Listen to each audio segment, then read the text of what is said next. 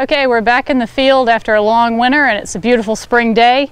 And we're working in an area just outside the west wall of James Fort, uh, a little bit to the west of where we found the grave of Bartholomew Gosnold, and uh, just into the southeast a little bit from where we found a later fort period well uh, just outside the fort here.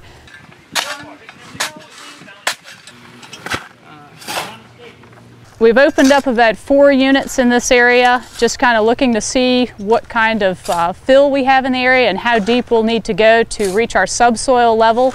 And so far we're going through a lot of overburden that was placed here after the Civil War.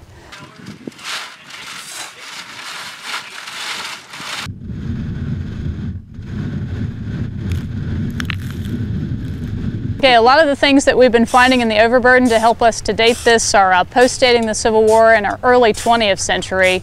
Uh, some of the things include part of a uh, shotgun shell casing um, from that early 20th century period, and then modern glass. A lot of clear glass has been showing up in the area.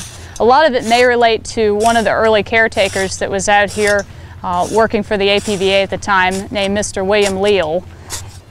Okay, we're just removing the last little bit of overburden in this area. So after that, we'll wet down the site and do a hard trowel cleaning of the area and, and see what kind of features are popping up. And uh, we'll let you know tomorrow how that goes. Okay, after a trowel down of the site that we have open so far, we've got a couple of things that have uh, come up. One of those is a historic looking feature, maybe fort period, or a little bit after, uh, that's just right in this area in kind of the uh, eastern side of our site. And then where you see Dan Smith down here working, uh, we've got a more modern feature that has intact brickwork, brick foundation, that's probably part of the, where the uh, Robert Hunt Shrine used to be located. So that Hunt Shrine was set into the earthworks, which would have been just a little bit behind where Dan is, towards where our palisade wall is now. And this would have been the steps leading down from that Hunt Shrine.